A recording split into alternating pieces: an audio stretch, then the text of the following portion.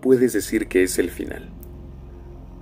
¿Cuándo, después de un camino recorrido, es que puedes decir que ya diste los pasos suficientes en esta vereda? No siempre es fácil encontrar el momento exacto, porque en sí nunca hay un final bien establecido. Cada día cambiamos, es, es parte de nuestra naturaleza, es lo que nos hace sobrevivir. Pero aún más, es lo que nos hace disfrutar de lo que podría venir en el mañana. Es lo que nos satisface ante la curiosidad de lo que hay más allá. Pero de pronto,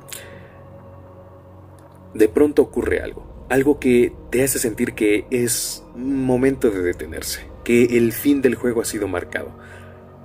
Marcado por un equilibrio que es solo tuyo, que bien sabes que puedes encontrar más, pero tal vez ya no lo necesitas, que bien apenas has rasgado la superficie, pero no anhelas más porque encontraste un, un punto en particular es cuando tienes la oportunidad de decir que llegó algo que puede demostrarte que el final de este largo pasillo ha llegado. Una zona que existe con cada habitación, que es distinta para cada ser que la habita. Recuerden amigos, el horizonte de eventos, el final del juego puede ser diferente para cada uno de nosotros. Será con distintas condiciones, será con las reglas establecidas por cada uno de nosotros, o la situación misma de nuestro entorno nos obligará a vivirlo, pero este tarde o temprano llega. Una rareza en Ninirs es este auricular.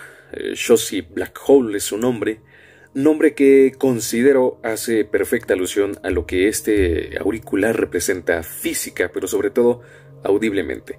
Por ello, todos esos mensajes crípticos en relación en él en el canal, que lejos del aspecto teatral infundado, pues lo revelan muy bien. Estos auriculares fueron enviados por Shoshi por un costo especial para realizar este video. Agradezco enormemente la confianza y sobre todo esa oportunidad. A ti quien está viendo este video te recomiendo ampliamente verlo de inicio a fin ya que hay cuestiones muy importantes que hablar de este audífono y al tratarse de una inversión muy grande se debe tomar en cuenta todo, absolutamente todo.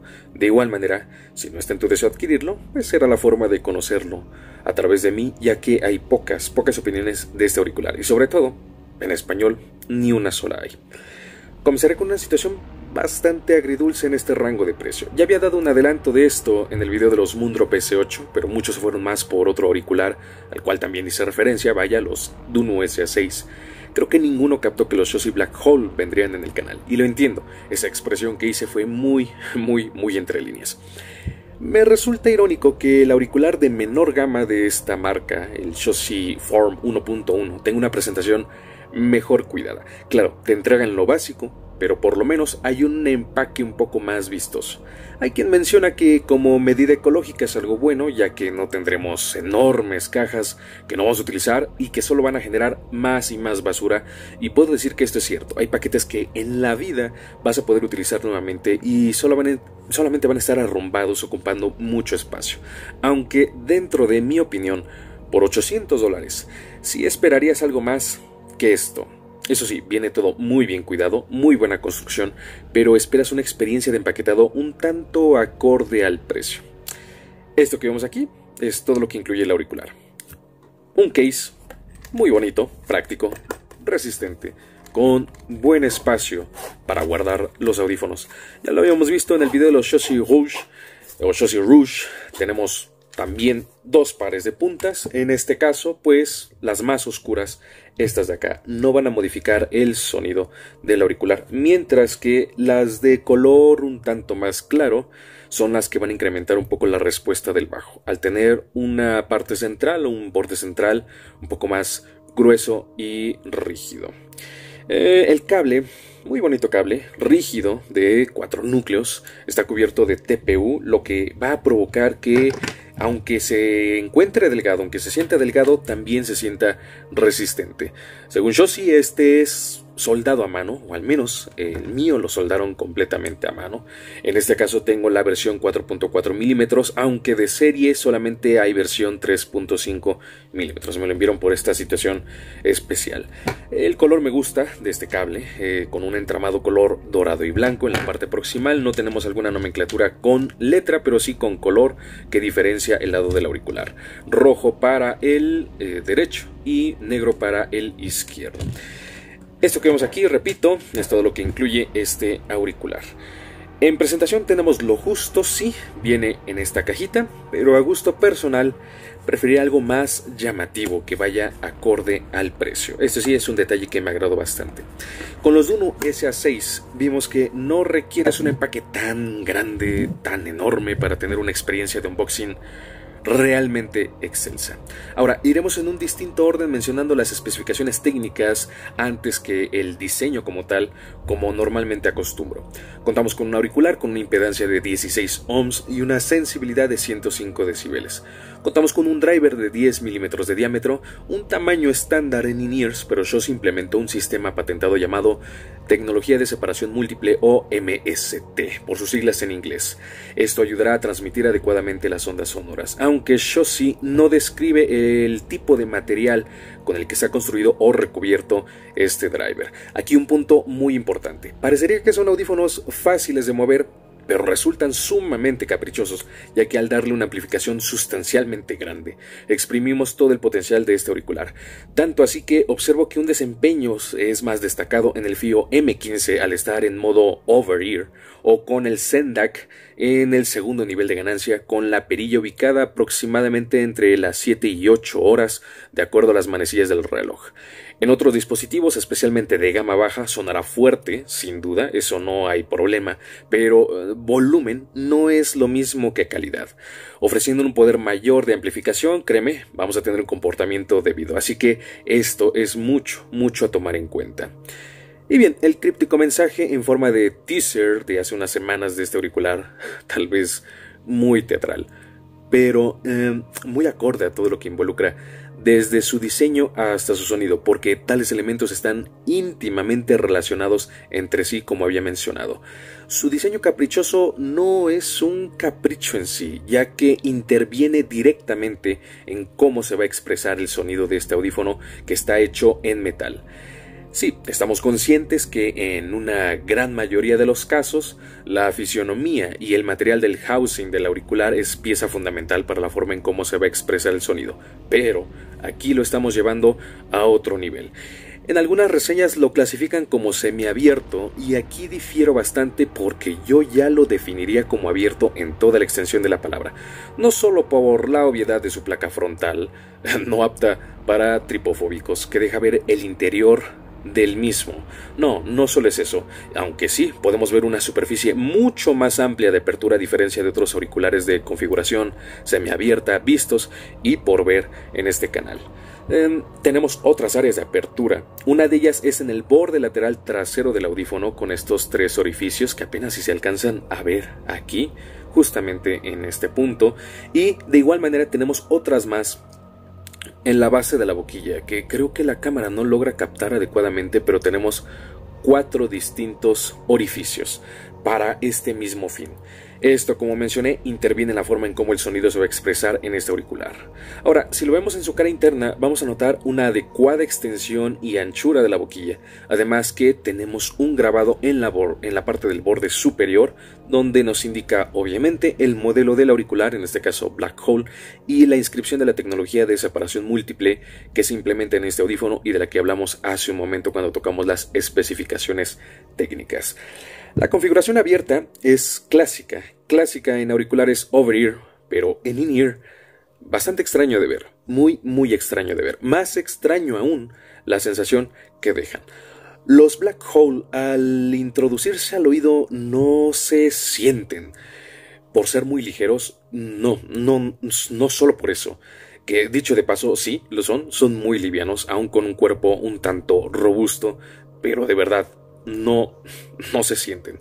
Es la cosa más rara que pude haber sentido en mis oídos. Con otro auricular sientes la clásica presión que ejerce sobre el canal auditivo, que en muchas ocasiones es liberada hacia el exterior si es que el audífono tiene una ventosa, pero pues vaya, sientes que hay algo ahí por la clara disminución del sonido externo, como por el propio audífono en sí. Aquí es muy, muy diferente. Claro, percibes que algo está en tu oído, pero no percibes que algo está obstruyendo la escucha de tu exterior. Estás consciente de tu entorno completamente. Por esa misma situación, y aunque sea una obviedad decirlo, debo de mencionar que no son auriculares para utilizar al exterior. El aislamiento que producen está muy, muy por debajo del promedio. Calcularía un, no sé, 10 de aislamiento pasivo. Soy malo haciendo cálculos empíricos, pero esto no solo lo percibo por el ruido exterior, sino por lo que mencioné de que no se sienten en el oído. Eso permite que estés completamente consciente de tu entorno.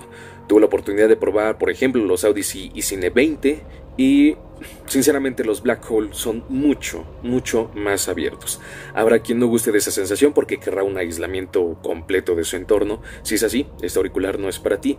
Claro, en ambiente exterior, con mucho bullicio, no lo recomiendo para nada ya que interfiere bastante, bastante con la escucha. Pero en interiores va a ser una sensación muy, muy, muy grata por ello mismo.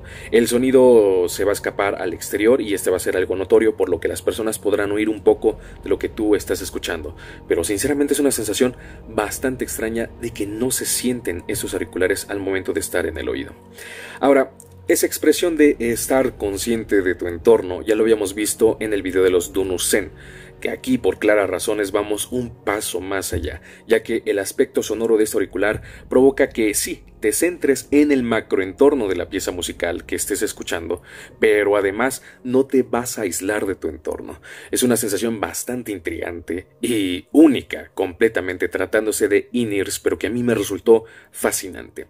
Es más, en over-ears abiertos ni siquiera he tenido esa misma sensación. Sí, da una sensación mayor de libertad al sonido y mayor a tus oídos, pero eh, vaya, es algo bastante, bastante curioso, sumamente curioso que esto llegue a pasar. Ahora, de igual manera, nos podemos enfrentar a esto. Como lo estoy mencionando, es un auricular que sí es bastante ligero y que realmente llegamos a mantener así, pero aquí lo llevamos a otro nivel. Tenemos un auricular neutral. Sé que este concepto en la audiofilia es muy subjetivo, muy, muy, muy subjetivo. Pero créanme, es el auricular donde noto esta situación lo más cercano a un punto medio. Em, es lo más incoloro que he oído. En algunas revisiones que leí de los Black Hole, que realmente son pocas, decían que era de carácter cálido. Respeto la opinión, pero yo no lo percibo para nada de esa manera. De hecho, no distingo ni calidez o un aspecto frío, eh, sino que nos encontramos muy cercanamente al punto medio. Esto hará que revele completamente la naturaleza de la fuente que utilices, ya que se va a adaptar a ella. Ya mencioné que no hay color, bueno, haciendo match con mi de X160 es la cosa más incolora que he podido escuchar en mi vida. No en todas las canciones se percibe esto, pero sí en una enorme mayoría de ellas, aunque que esto no los deje engañar, porque esa adaptabilidad sin llegar a una versatilidad como tal es lo que hará relucir este audífono ante diversos géneros. Pero sí, para nada, absolutamente para nada, está dirigido a un lado musical. Es un perfil puramente audiófilo. Por otro lado, hay un grandioso nivel de detalle, hay gran nitidez establecida por cómo se van a presentar las frecuencias, pero sobre todo va a destacar más su fondo oscuro. Es el auricular más limpio que he tenido la oportunidad de escuchar bajo este aspecto. Si bien no es el más nítido por cómo se presentan algunos instrumentos, voces y demás, sí va a destacar la oscuridad de fondo que tiene y esta llega a resultar asombrosa. No quiero decir que no es nítido, sí, pero aquí esa limpieza no destaca por la nitidez en cómo se presenta el sonido, sino por ese fondo oscuro. Sé que podrían ser conceptos que se puedan confundir, pero lo defino de esta manera. La nitidez es la forma refinada en la que se presenta cada sonido, mientras que el fondo oscuro será ese lienzo en donde el sonido se va a plasmar. Em, le ayuda bastante la fisionomía acústica del interior del auricular, pero además el hecho de que sea abierto para que se pueda expresar de esta manera. Eh, otro punto muy importante y que casi no menciono en el canal porque pocos auriculares han tenido esa característica, no perdona despedaza las malas grabaciones y o masterizaciones. Eso lo destaco en un punto muy importante. Por ejemplo, en grabaciones regulares o malas, si hay muchos elementos trabajando al mismo tiempo, el sonido se va a congestionar, pero no porque el auricular no sea resolutivo en este aspecto, sino por un rango dinámico inadecuado. Recordemos la Loudness War o Guerra de Volumen, en donde muchas canciones se aumenta la ganancia para que suene fuerte, pero mermando el aspecto del rango dinámico. Al inicio yo no comprendía esta situación, no sabía por qué en algunas canciones de metal, por ejemplo, era un desastre, un desastre completo con los Black Hole por ese congestionamiento, pero otras no, incluso disfrutaba mucho de este resultado. No había congestionamiento para nada, aunque hubieran elementos muy rápidos y numerosos. Bien, es precisamente por esto. Ahora, un ejemplo, Fortress de Cobra and the Lotus, ya había hablado de esta canción, es una muy buena representación de una grabación bien realizada y que a pesar de tener guitarras, baterías trabajando muy muy rápido, por esa calidad no se llega a congestionar, esa calidad de grabación.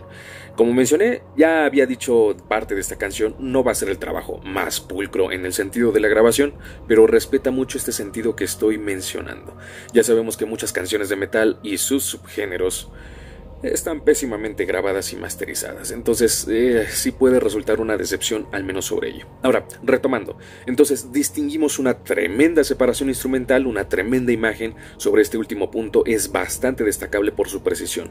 Su soundstage es muy muy grande, ojo, no estoy mencionando amplio, porque en longitud, aunque sí destaca, quedando tal vez un poco debajo por el IMRPV2 auricular del que no hemos hablado aquí, no será el soundstage más largo en el lateral, pero en altura sí, lo cual es muy raro de ver, es decir, que sea alto y con bastante diferencia.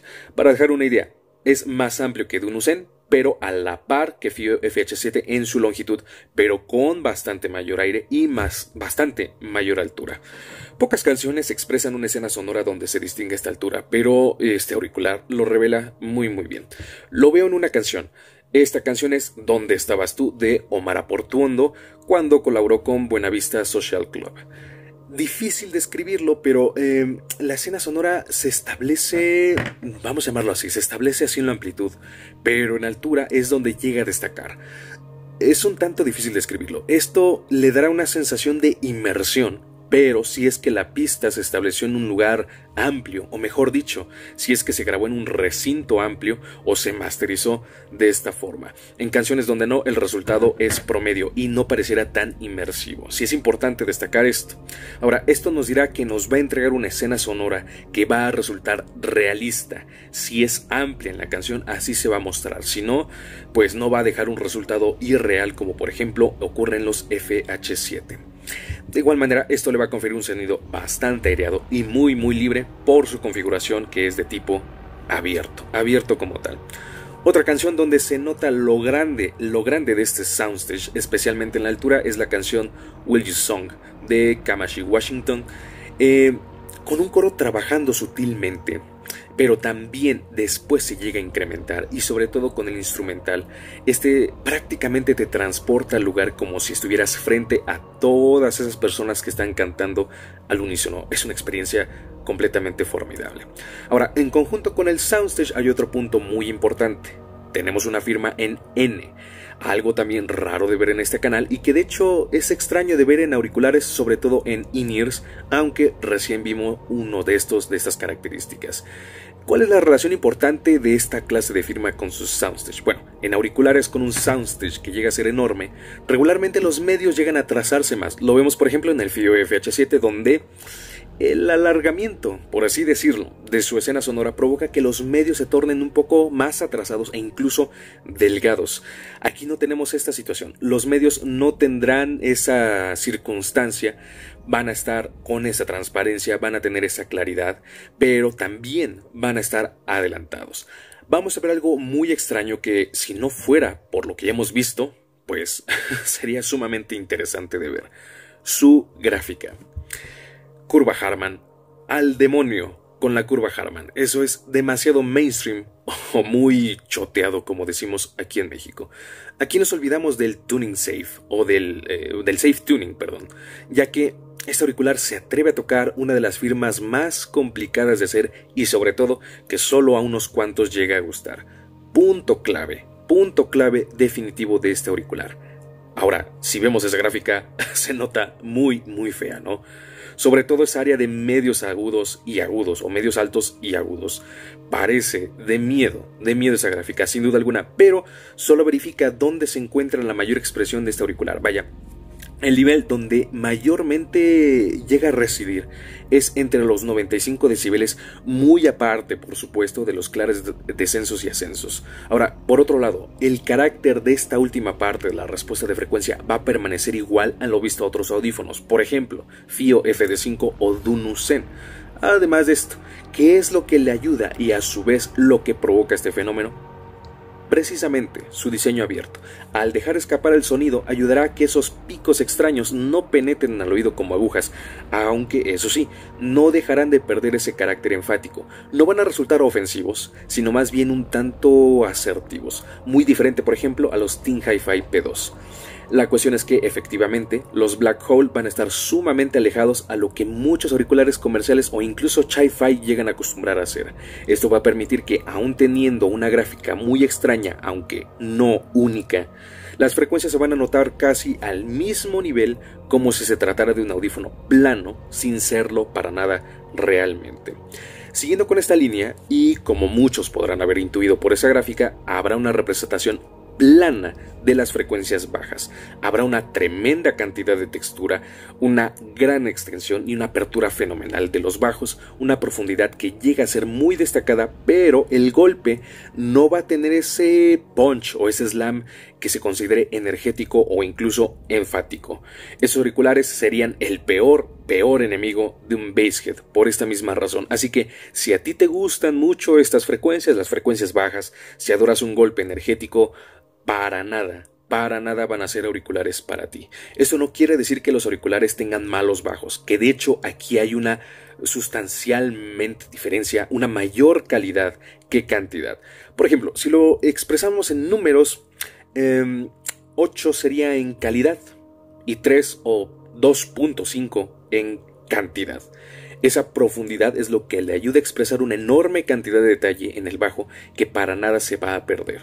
Un recurso al que casi siempre hago alusión es el pizzicato, los pellizcos. Lo vemos por ejemplo en Helsinki Song de Thrift Same, disculpen si pronuncio mal el nombre, por ese bajo que no llega a ser masivo y que por lo tanto llega a estar muy bien controlado, deja una exquisita, muy exquisita textura al momento de hacer el pizzicato en el contrabajo, el pellizco en el contrabajo.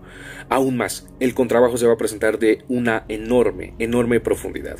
En general, esta pieza es muy disfrutable en todo el sentido, pero quise eh, resaltar un poco más el actuar del bajo, este, o cómo se comporta el bajo de ese instrumento de cuerda en este auricular. Ya habíamos visto algo similar, por ejemplo, en los FIO FH5S, donde el bajo no destaca en cantidad, pero sí en profundidad. Así que, como es auricular, el carácter abierto provocará que ese bajo tenga este comportamiento sin un golpe que llegue a ser poderoso, pero extendido y profundo. Si nos vamos, por ejemplo, a The Last Court o The Pink Phantom de Gorillaz, canciones con mucho, mucho, mucho bajo, golpeteos constantemente y acción de sintetizadores representadas en esas frecuencias, hay un disfrute que también es destacado, pero pero no por la potencia, sino por el detalle que el bajo llega a expresar. Además que su extensión también se llega a expresar de una manera formidable. Sin embargo, donde notaremos que hay una ganancia menor es a nivel de subbajo. Estas frecuencias, las subgraves o subbajas, se escuchan en cierta manera, pero es muy poco y muy breve el rumbling o el retumbe que estas lleguen a expresar. Entonces, si tú eres amante de los bajos, es un auricular que para nada, para nada es recomendable para ti. Así que no, no lo hagas. Ahora, los medios son el punto más fuerte de este auricular por obvias razones. Al estar adelantados, vamos a tener ese punto de la respuesta de frecuencia muy bien representado, pero además, no porque exista un cuerpo eh, exuberante como lo vimos en el Dunusen, por ejemplo. Bueno, tal vez exuberante no es la palabra, pero sí bastante, bastante robusto, bastante corpulento. No, no es por ello, sino por esa claridad, por ese detalle que se va a expresar aquí. Las voces van a destacar enormemente, especialmente las voces masculinas van a expresarse con claridad, con imponencia y con sentimiento si es que la canción lo demuestra así. Traigo nuevamente a mención la canción de The Pink Phantom de Gorillaz que vimos hace un momento en los bajos, especialmente por la colaboración que realiza Elton John, Sir Elton John, eh, aún más por el enfoque que este llega a tener. Muy sentimental, una voz gruesa, una voz profunda y sobre todo que se expresa muy bien articulada. Mexicana de Café, Café Quijano, perdón, trae nostalgia aún con esa tremenda voz de Manuel Quijano. Tenemos una articulación muy bien realizada. Ahora, el pico que observamos en los medios altos sí se percibe en la escucha general. No podemos decir que no, pero afortunadamente pasa la prueba de fuego de la que ya hemos hablado constantemente con Taylor Swift. Ahora, respecto a instrumentos, tenemos una, una magnífica forma de presentarse, lo que hará que soundtracks de películas, música instrumental, se llegue a expresar increíblemente bien. Playful Pizzicato de Trondheim Solisten hay violín un violín que llega a trabajar sumamente rápido y habla también bastante bien con esto, sobre todo con una escena sonora muy amplia. Los pizzicatos ahora se van a expresar en el violín y por lo tanto estos se van a representar más en la zona media, ya no en los bajos como vimos en la anterior canción, sino en la zona media y también en la zona alta de la respuesta de frecuencia. En In-Ears ha sido el mejor auricular con el Black Hole que he escuchado esta clase de piezas musicales, es decir, música instrumental. Hay una presentación muy natural de cada instrumento y creo que es donde mejor se va a desempeñar el black hole. Tocando este último punto, pero por ello mismo hago referencia a los agudos, donde violines, por ejemplo, flautas dulces no van a tener un carácter agresivo tampoco va a ser congestionado ni sobre todo estridente, pero eso sí, sí van a lucir enfáticos. Música Celestis del álbum Magnificat, del mismo conjunto que hablamos en la canción anterior, es una locura en las cuerdas. Inicia de forma lenta, tranquila, algo que tal vez no te haga sorprender, aunque sí relajar, excepto alrededor del minuto 6.23 hasta el minuto 7.38. Dios mío, violines violentos completamente, donde hay registros hasta 11 kHz y que se mantienen ahí. Es una lucha de violines bastante, bastante destacada. Si hay un carácter enfático, de eso no hay duda. Por ello, no recomendaría estos audífonos para personas extremadamente sensibles a los agudos, aunque no a las que llegan a ser un tanto sensibles. En ese sentido, no hay problema o no hay de qué preocuparse. Mm, por ese factor que estoy hablando, no porque sean agudos que estén mal realizados, sino porque son agudos que se presentan con ganancia y con extensión. Hay claridad sin duda, hay transparencia, no hay sibilancias, se van a presentar con una buena cantidad de aire, pero la sensibilidad es un factor clave para este punto. Pero insisto, solamente para las personas que son en extremo sensibles a los agudos. Aléjense de estos auriculares. El conjunto de todo este trabajo de frecuencias se puede percibir bajo una misma línea, como mencioné, como si se tratara de un audífono plano. Pero al, momento de analizar, te das cuenta que no, no lo es, no es un audífono plano. Hay un extraño equilibrio que te haría tener esa percepción pero cada frecuencia se presenta con sus respectivas diferencias. Pero como podrás notar y como dije al inicio, si bien se adapta muy bien a muchos géneros, el hecho de que no perdone provocará que este no sea un auricular versátil te demostrará un error en el sentido más crudo, especialmente en medios y también en bajos, donde tal situación tendrá un aspecto seco cuando esto llegue a ocurrir. En cambio, si el rango dinámico desde el origen, desde el momento de la grabación, o mejor dicho, de la masterización, está muy bien establecido, tenemos un aspecto muy dinámico, muy fluido y sobre todo muy detallado. Eso es lo que hace este auricular tan extraño, por supuesto, junto con su configuración abierta. Ese equilibrio que te hará notar lo que ocurre en tu entorno y en el entorno de la pieza musical que estés escuchando. También tenemos un equilibrio bastante agradable entre lo que es el macro y el micro detalle.